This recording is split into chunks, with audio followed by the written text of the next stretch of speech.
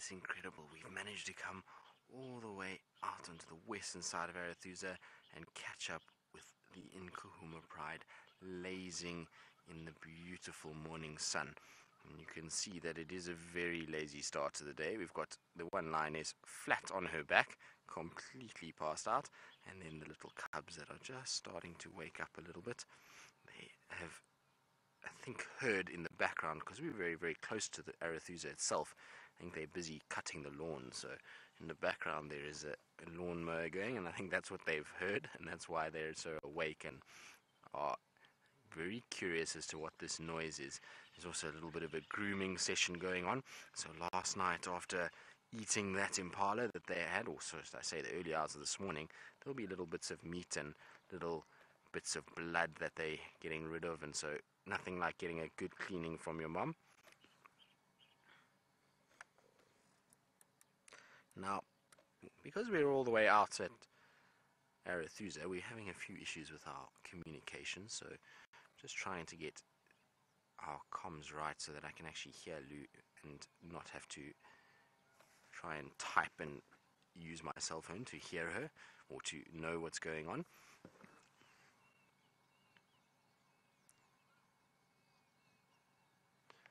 But isn't that spectacular? Look at how incredible that is. And the light this morning is so beautiful. Oh, you see that tick there, Viam? On the whisker line, she has a tick. Now, with all the long grass that we've got currently at the moment, it's inevitable that these cats are going to pick up quite a few ticks. I know Steph was complaining about them last night, saying that they were on his arms, and so they latch on around there. But luckily, or unluckily for the tick, is that being around the whiskers is where the tongue can reach, and so I'm sure that tick is going to unfortunately get pulled off quite quickly which is nice for the lioness, but not very nice for the tick. The tick will be thoroughly unimpressed, but you can see it there just between the whiskers. It's latched itself on, and it seems quite fat, so it's already gotten a little bit of blood out of this lioness. But you can see she's using that rough tongue just to get rid of any parasites that may be on her, and that's part of this grooming process.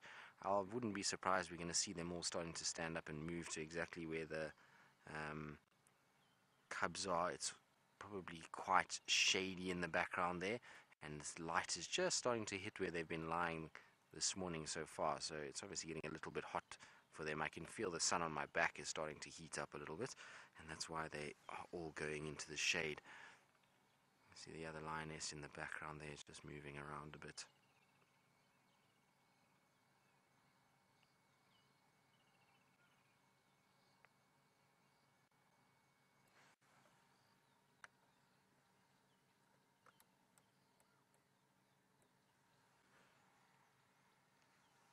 She's just eating a little bit of grass, and so this is quite common for lioness, or lions, should I say, after they've had a good meal. You'll find that sometimes they eat grass, and that will trigger them to often regurgitate, which means they get rid of all the bone and fur and hooves that they are unable to digest, and it just keeps their stomach in a very healthy condition. So it's not uncommon to see grazing lions. It does happen from time to time. I promise you they are not vegetarians. Like I said this morning, some of you were lucky enough to see on the Arathusa Dam cam them killing a impala and feasting on that. But an impala between all these lionesses is very, very little. It's not going to, or all these males, including the cubs, it's not going to go very far, in, unfortunately. So you'll find that the cubs are going to be still probably quite hungry.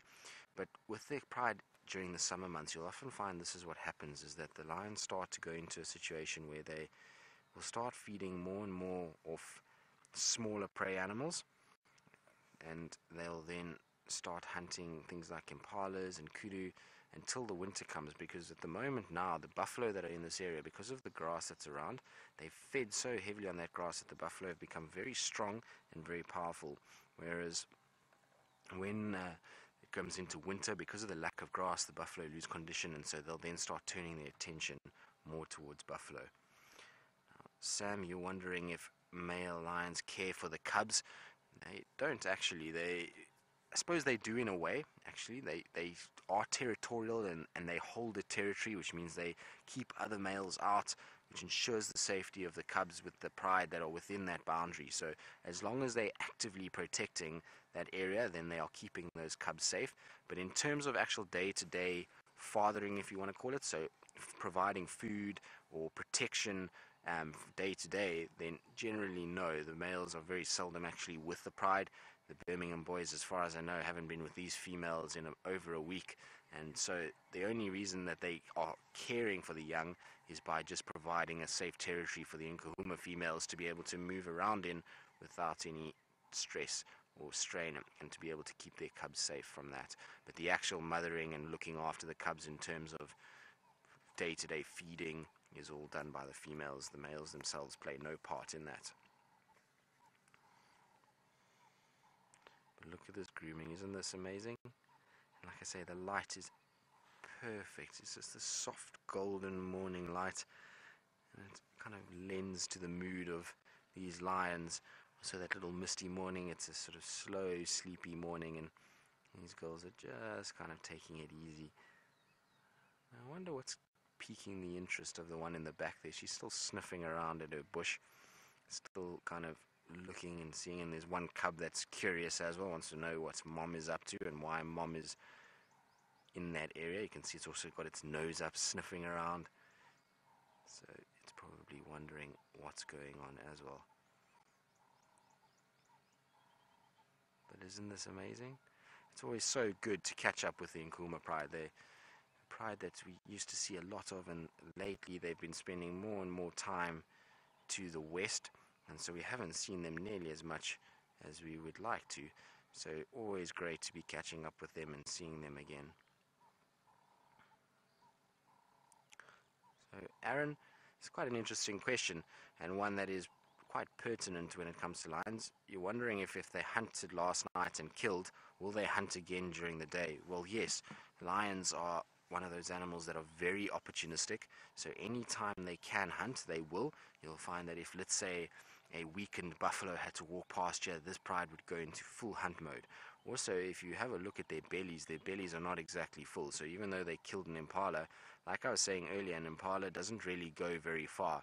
And so you'll find that the cubs probably ate most of that, and these females got very little. You can see her belly's not swollen in any way. And if we had hadn't known that they killed that impala, you would almost say that they haven't eaten last night. So they most definitely, if they see any sign of food roaming around here, will definitely try and hunt. The thing about lions is that they more prefer to hunt at night because of the senses that they have. They have very, very keen eyesight at night.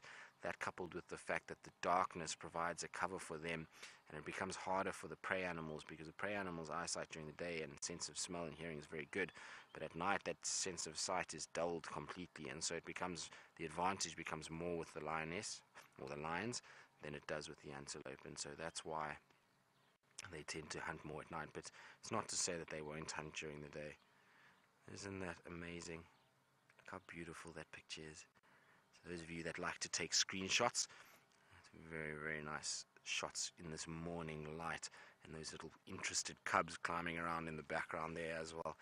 So some really cool shots that you can send to us on hashtag Safari Live.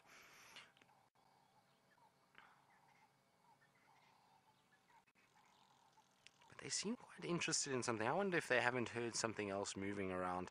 It is obviously because we're very close to a lodge. There's going to be people that are going to be moving around between the rooms now we're right off the western side of the lodge, so we're not actually got any people moving between us here, but still there might be some sort of movement that they're picking up. Also, it could be some sort of prey items.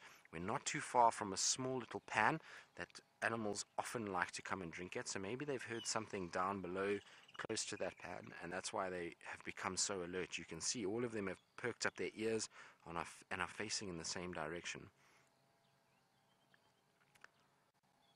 So, Michael, you're wondering how many lionesses we have with us at the moment. There's only three that I can see. So there's three lionesses. It looks like Amber Eyes and the young female are missing again. So this is not uncommon practice.